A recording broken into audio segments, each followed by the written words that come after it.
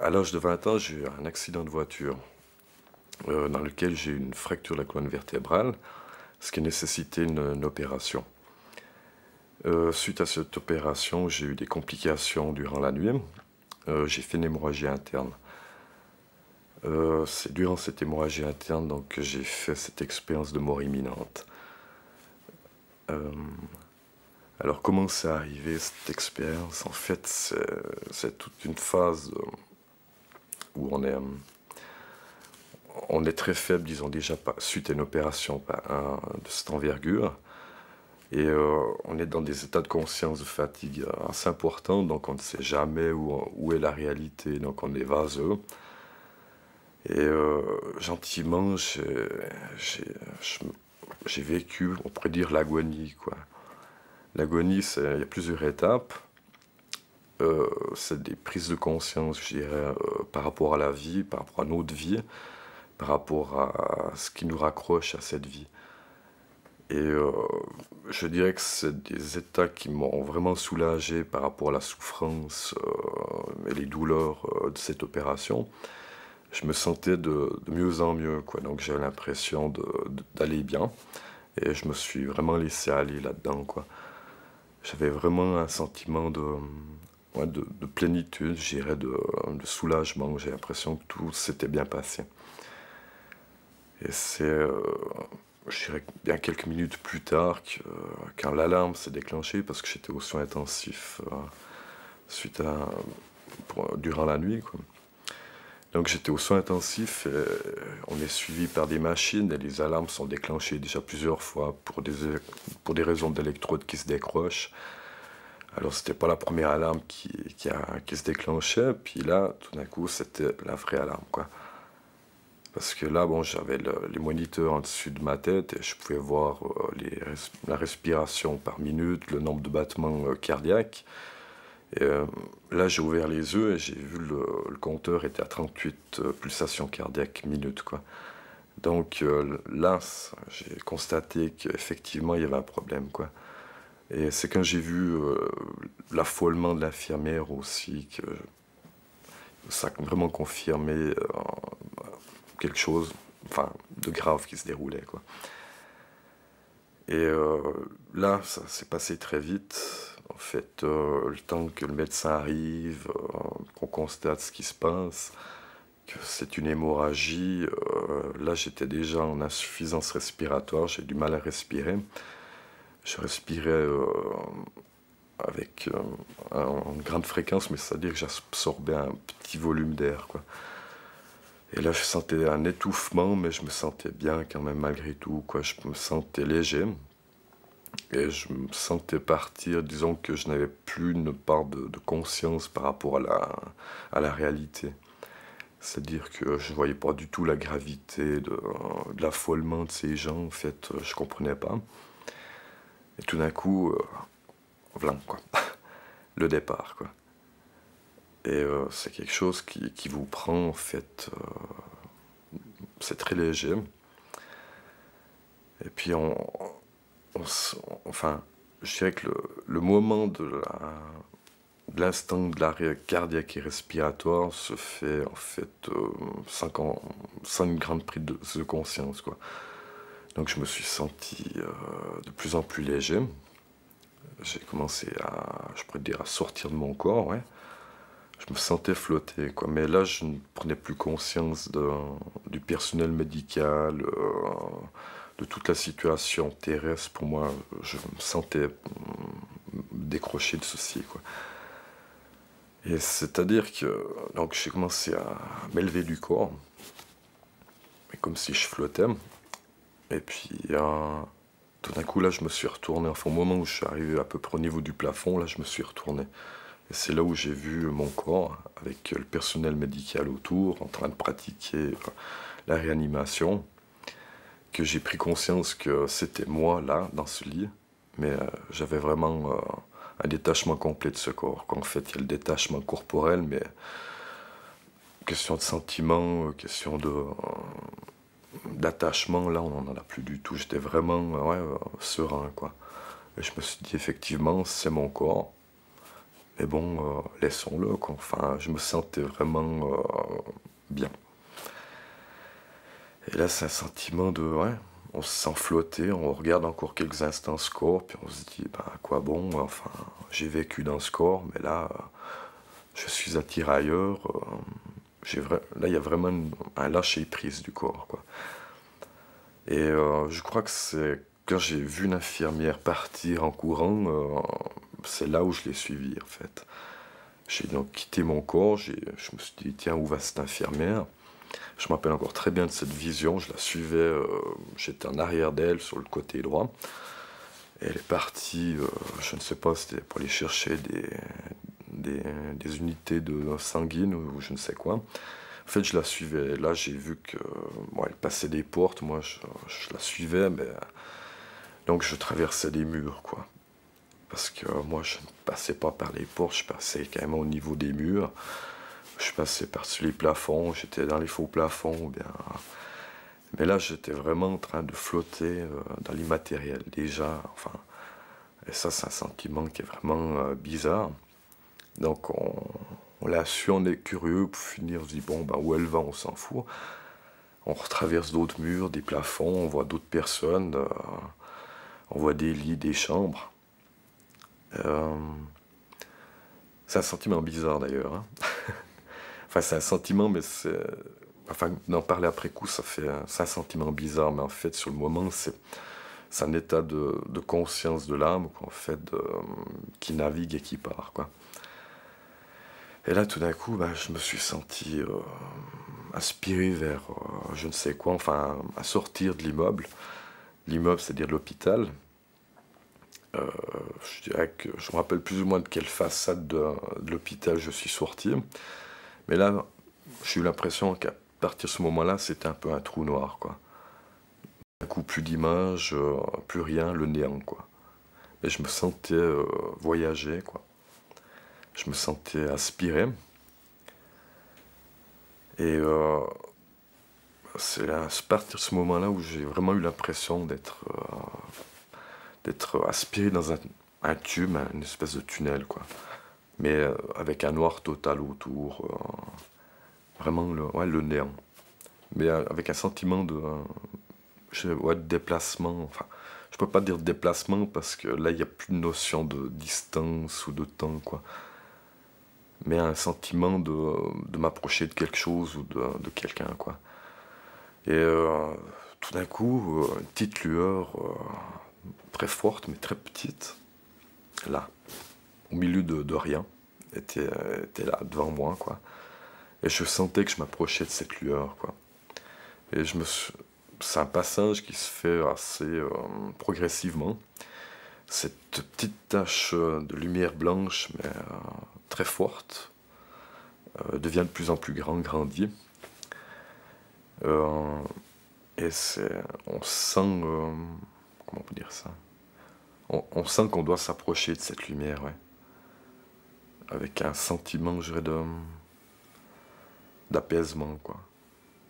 C'est la seule chose qui nous raccroche dans ce néant. On se dit, euh, c'est le seul passage, il n'y a que ça euh, qui, qui, nous, qui nous fixe, quoi. Et plus on s'approche de cette lumière, enfin plus, elle, enfin, plus elle grandit, plus elle, euh, elle prend de place autour de nous. Et là, on je dirais je ne savais pas vraiment vers quoi je, je vais m'attendre en fait. Euh, mais cette lumière était tellement forte, je dirais que c'est plus fort que le soleil, hein, mais ça n'éblouit pas. Et en fait, je me demandais, mais euh, enfin, avec quels yeux je voyais en fait, hein, vu que je n'avais plus mon corps, euh, mais je voyais cette lumière. Et cette lumière m'éblouissait pas du tout, malgré que c'est peut-être mille fois plus puissant que le soleil, et c'est une lumière qui est très blanche en fait, très lumineuse. Et au moment où j'ai senti que euh, cette lumière était m'englobait complètement, euh, m'entourait entièrement, là j'ai eu un sentiment d'apaisement, de, un sentiment de, bien-être. Hein, euh, et c'est là où j'ai où tout d'un coup une voix m'a interpellé, quoi, avec une question assez choquante, je dirais. Bah, je vous la citer mot à moi là. Euh, enfin, en fait, je crois que cette lumière blanche, c'est une entité, c'est peut-être euh, un ange, c'est peut-être euh, Dieu, je ne sais pas. Ou bien ça dépend des religions, on peut mettre n'importe quel mot là-dessus, enfin n'importe quel nom, mais c'est une entité très puissante. Quoi. On sent que c'est une présence divine qui, est là pour nous accueillir, pour, euh, pour nous rassurer aussi.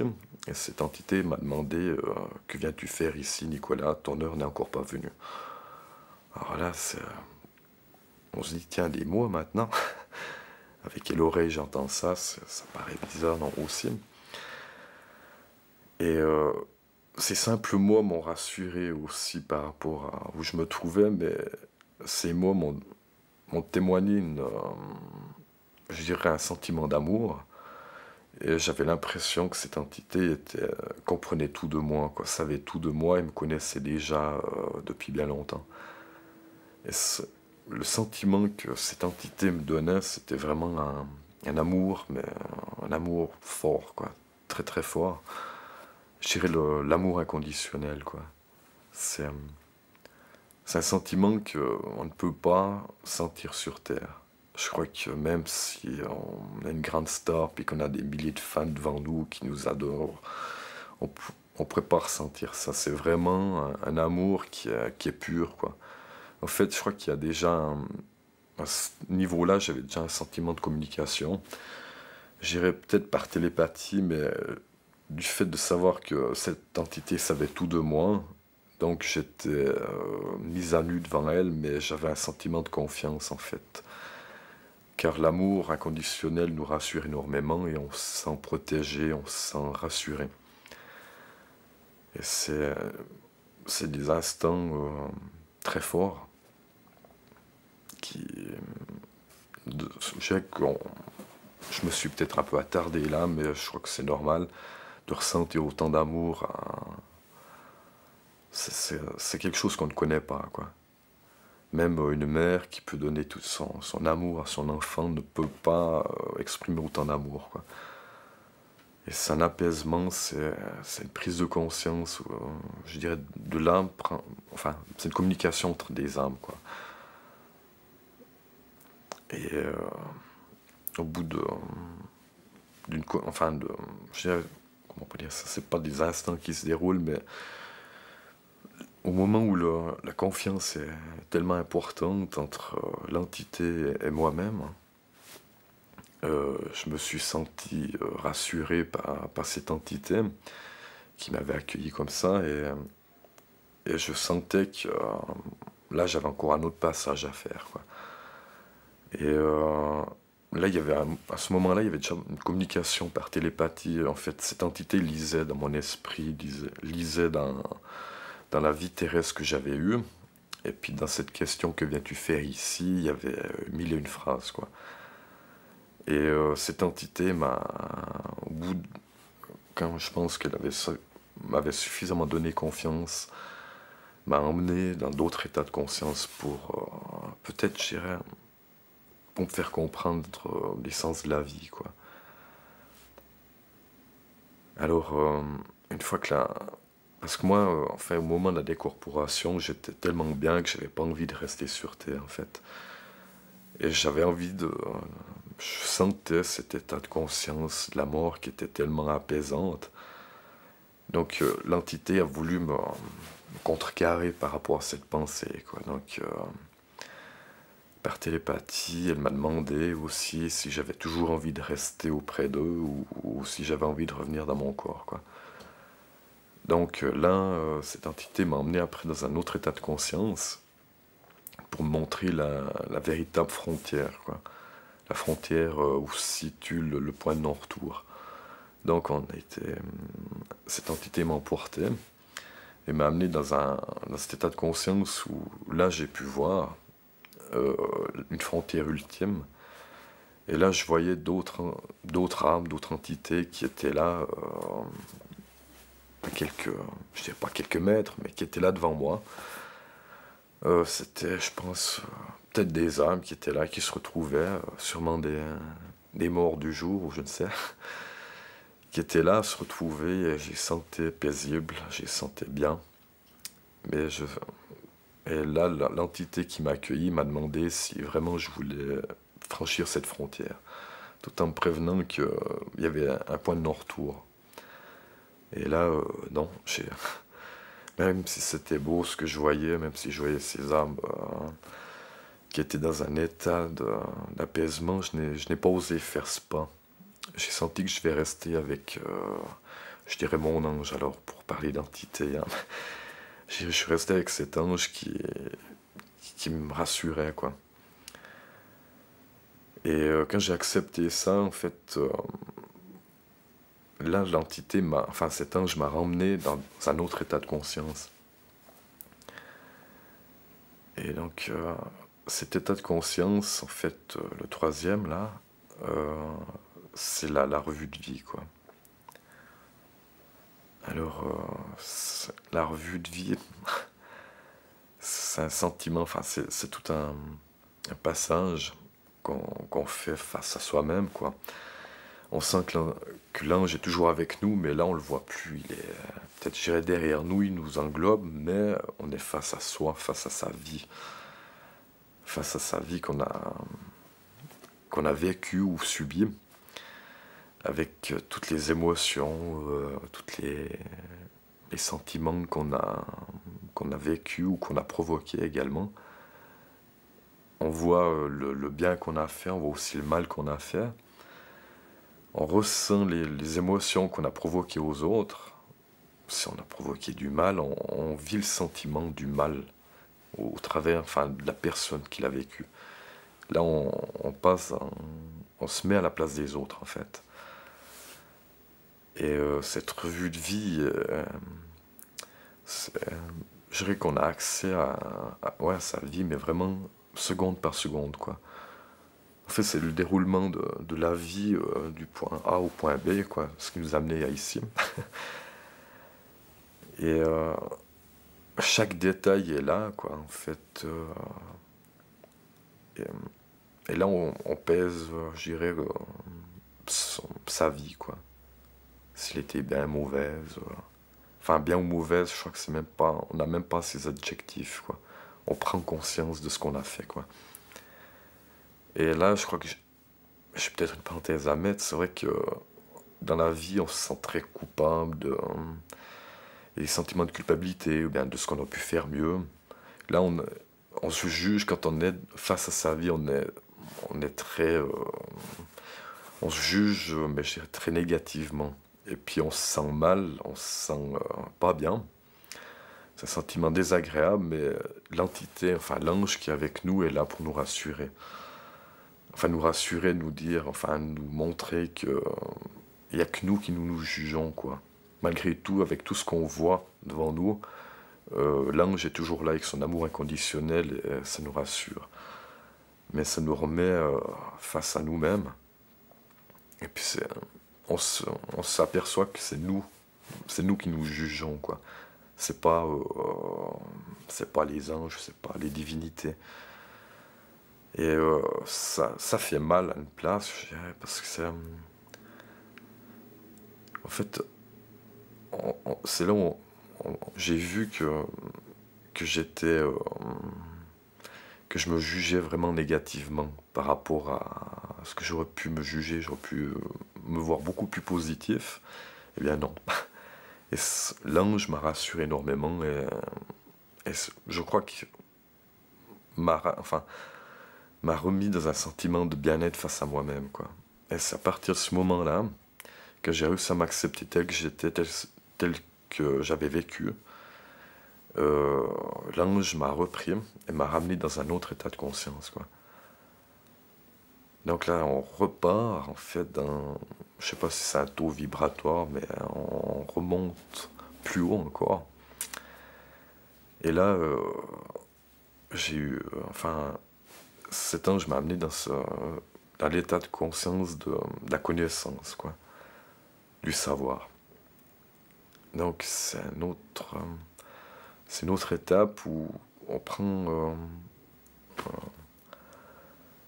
on prend euh, accès à tout, quoi, en fait. On a le droit à tout, au savoir. Et en fait, dans à ce moment-là, en fait, c'est comme si on, se connectait euh, sur le web. On peut prendre ça comme euh, parallèle. C'est comme si, euh, via mon PC, tout d'un coup, j'ai accès à toutes les connaissances qu'il y a au travers du web, à toutes les banques de données, mais que je peux les lire tout au même instant. Quoi. Le fait, si je me pose une question, rien qu'en se posant la question, on a la réponse. C'est un, état de... peut-être un état de savoir et de, de, prise de conscience du, savoir universel. c'est un, savoir universel, mais qui englobe euh, pas que le monde. Hein. je dirais que c'est tous les mécanismes de l'univers qui est aussi compris là-dedans. Si on se pose une question technique à ce moment-là, on aurait aussi la réponse. Mais si on se pose une question euh, divine, par exemple, qui n'a rien à voir sur le plan terrestre, on aura aussi la réponse. Euh, je peux pas vous dire toutes les questions que je me suis posées, mais je sais que j'ai su, mais je me rappelle plus quoi. On sait qu'on a vécu cet état de, hein, du savoir quoi. Et c'est un sentiment de, de plénitude, de c'est un sentiment aussi de, de compréhension de compréhension aussi face à soi-même dans la vie qu'on a eue, euh, face à la vie du monde, face au, déroulement de, de l'humanité, pourquoi l'humanité en est là, ce qu'elle a vécu avant, ce qu'elle va vivre après. Il y a une logique qui est, est là et qu'on comprend. Je dirais que cette prise de conscience est, fabuleuse. Hein on a l'impression que là, on pourrait aider le monde, on pourrait, euh, peut-être changer le cours des choses, ou bien. Mais on est ailleurs. On n'a plus notre corps, on est, seulement dans un état de conscience, quoi. Et une fois qu'on a suffisamment baigné dans, ce, savoir, fait, toujours accompagné de, de cet ange, avec d'autres anges qui tournent autour, en fait, parce qu'on n'est pas les seuls là-bas, on voit qu'on est dans un, dans un autre monde où, on est tous, quoi, mais on fait tous partie de un. Il y a une prise de conscience de, l'unité. L'unité, euh, c'est-à-dire que je crois que l'univers, avec tous les autres univers qui peuvent entourer autour, euh, sans mettre de limite, comme euh, du infiniment grand, voire du infiniment petit, on fait partie de un. Nous-mêmes, on fait partie de cette unité, le, la moindre brindille d'herbe fait partie de cette unité. Euh, tout, euh, c'est un tout qui est indissociable. Quoi. C'est un, c'est l'un. Et euh, c'est un sentiment qui est, fabuleux. Quoi, il n'y a pas de mots pour expliquer ça, je crois.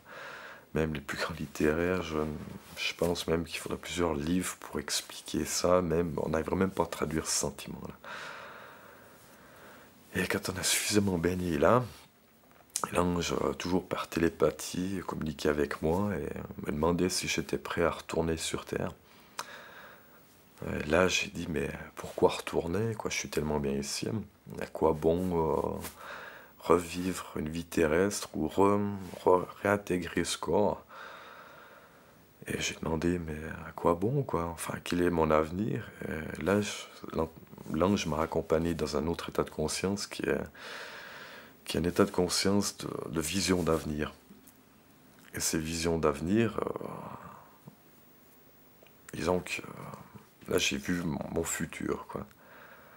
Donc là j'étais de nouveau euh, seul, mais accompagné par cet ange qui est toujours à m'englober, en fait, à m'entourer, toujours avec l'amour inconditionnel. C'est ça qui nous guide et qui nous tient, en fait, hein, qui nous je crois que l'âme, en fait, ne pourrait pas se diriger seule. On est obligé, enfin, automatiquement, on accueille. On accueille dans ce sentiment d'amour. Et euh, là, il y avait. Donc là, je suis arrivé dans cet état de, de, de vue de, de, mon futur. Quoi. Donc là, je me suis posé plusieurs questions. Euh, qui vais-je rencontrer? Qu'est-ce que je vais faire de ma vie? Euh, Quel sera mon rôle? Sur cette terre, en fait Quelle sera ma, ma mission Oui. C'est là où on prend, la, on prend conscience de, de notre mission sur Terre, en fait, parce que la vie, qu'est-ce que c'est que la vie sur Terre? C'est. En fait, à mon avis, la, vie, c'est en fait. L'âme prend, prend corps, a besoin d'un corps pour expérimenter. Je pense que l'âme vient de là et retourne là, mais doit passer euh, au travers de la vie terrestre, expérimenter au travers d'un corps, parce qu'une âme sans corps ne peut pas expérimenter, elle peut savoir, elle peut, euh, elle peut baigner dans l'amour, mais elle ne peut pas connaître ce que c'est que la vie terrestre, avec le mal, avec euh, des sentiments négatifs, avec des avec tout, tout ce qui entoure dans la vie. Quoi. Et donc, euh, là, il y a cette, euh, cette vue de vie, en fait, euh, future. Et c'est un sentiment de... On sait qu'on a quelque chose à faire après sur, sur Terre, quoi, et, et expérimenter. Et je crois que c'est là où j'ai vraiment pris conscience que je vais revenir sur Terre. Je savais plus ou moins que je vais rester avec cet ange qui m'accompagnait, que j'ai pas voulu passer la frontière ultime. Mais c'est là où j'ai décidé de, revenir sur Terre. Même si j'étais vraiment bien. Euh, quoi, en fait, c'est le nirvana. Enfin, on sent au paradis. Enfin, on croit que c'est le paradis, mais à mon avis, je crois que j'ai. On m'a montré, j'avais des fenêtres que je pouvais ouvrir. J'ai pu voir euh, certaines choses qu'il y a là-bas. Je pense pas que j'ai tout vu non plus. Je crois qu'on nous montre bien ce qu'on veut nous montrer. C'est juste des fragments mais des fragments qui nous montrent que, que l'au-delà, c'est super. Il y a vraiment quelque chose là-bas. Pour moi, c'est une certitude. Mais euh, malgré tout ça, euh, avec euh, la vision d'avenir, avec, avec ce sentiment que j'avais, que j'avais un rôle à jouer sur Terre, là j'ai pris j'ai fait le choix de revenir. Et l'ange m'a m'a fait comprendre que j'ai fait le bon choix. M'a fait comprendre ça, mais disons que si j'ai fait le choix, je pense, de, de rester là-bas, je pense que je serais quand même là. Il, il, nous donne quand même le choix, mais en fait, c'est peut-être par formalité, mais la vie est un choix en fait. Et euh, si j'ai fait le choix de rester là-bas, je pense qu'il m'aurait quand même expédié ici, sur cette terre. Mais euh, j'aurais fait un, retour peut-être avec un état d'esprit euh, peut-être plus rebelle ou bien avec, sans l'acceptation en fait. Mais là j'ai vraiment accepté de revenir et puis pour venir expérimenter la vie. Alors là, l'ange m'a accompagné par la porte d'entrée dans laquelle j'étais venu. Donc, c'est cette fin de tunnel, on est revenu euh, au même point de départ, en fait, euh, cette lumière blanche qui nous englobe, cet amour inconditionnel qui est toujours là, avec... Euh, avec, il y avait d'autres entités aussi qui étaient là. Maintenant, je ne sais pas. Je me suis reposé la question si c'était peut-être des personnes de ma famille décédées. Euh, Shrek, en fait, en fait, on voit des âmes, mais qu'est-ce que c'est, quoi, ces âmes En fait, c'est des auras, en fait. On voit une, forme qui ressemble à une forme humaine, mais qui, qui est vraiment euh, dessinée. Euh, c'est comme un halo de lumière. On sent qu'il y, y, a de l'énergie. Cet halo de lumière est une âme, en fait. Mais on comprend que cette âme, elle a tout un passé, elle a son vécu, elle a également euh, elle a également des questions à se poser. Elle est aussi là, des fois, errer. Enfin, comme dans l'état de, la connaissance universelle, il y en avait d'autres qui étaient là aussi, mais sans que je focalise sur elle, je sentais qu'on était plusieurs errer dans cet état de, prise de conscience. En fait, de, on sent qu'on ne communique pas avec ces, ces, ces, autres personnes, ces autres entités, mais on sait qu'ils sont là, on les voit, on peut sentir euh, la sérénité qui est aussi au-dedans d'elle. Et euh, donc au moment où j'étais juste à donc, cette porte de sortie, il y avait d'autres entités qui étaient là, il y avait peut-être un aller et venu. et euh, l'ange qui était avec moi donc, à m'englober d'amour. Et donc il y a un, je comment, un, au revoir hein, qui se fait, mais vraiment avec un détachement et un sentiment de, sérénité. Et là, moi, j'exprimais, je pense, autant d'amour. Enfin, je pouvais peut-être donner aussi un amour inconditionnel, mais je pense pas autant grand que, cette entité. Vraiment une joie, un apaisement. Et euh, en fait, c'est un au revoir, c'est comme quand on quitte un ami, on sait qu'on va le revoir. On ne sait pas quand. Mais euh, le sentiment de quitter nous fait vraiment, euh, nous donne aucune peine, c'est plutôt une joie en fait de, de, se quitter. Quoi. Et donc là, euh, à partir de ce moment-là, je me suis senti aspiré à nouveau dans le tunnel, à l'envers. Donc là, c'était l'effet inverse, donc j'avais toujours cette lumière autour de moi, l'ange m'a quitté, j'ai commencé à régresser, régresser. Donc, quand on régresse, c'est comme un, recul. Donc, cette lumière commence à diminuer, diminuer, euh, au point de devenir nouveau plus que ce point euh, blanc lumineux qui, nous avait focalisé. Et tout d'un coup, le vide complet, plus rien, quoi. Et là, je me suis ressenti nouveau dans le, dans le même passage que j'avais franchi auparavant. Et euh, tout d'un coup, euh, des choses plus matérielles apparaissent, quoi. La Terre. le sentiment d'être à nouveau sur la Terre m'a repris. Euh, j'ai revu l'hôpital en fait. Bon, c'était de nuit, mais j'ai revu cette façade que j'ai reconnu quand même, et puis euh, j'ai traversé les nouveaux les murs, les plafonds, jusqu'au point de, retrouver mon corps qui était là. Toujours inanimé, euh, avec le personnel médical autour. Et euh, là, il y, y, a un moment où on est là, on se dit, oui, c'est nouveau moi, c'est nouveau lui, c'est moi qui dois retrouver ce corps. Et il y a un moment où je dirais que j'ai passé un petit moment là à observer. Et puis, euh, comment retrouver son corps? C'est des questions enfin, là, que, j'exprime comme ça en tant qu'humain, mais euh, c'est pas une question qu'on se pose au moment où on arrive. Quoi.